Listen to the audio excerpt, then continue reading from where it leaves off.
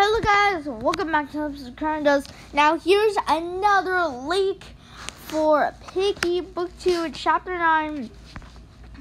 So, looks like here's the monster. And it's a pig, so... Is Friend a pig? Because he looks like pig. I mean, he look. Uh, I mean, the pig. I mean, he...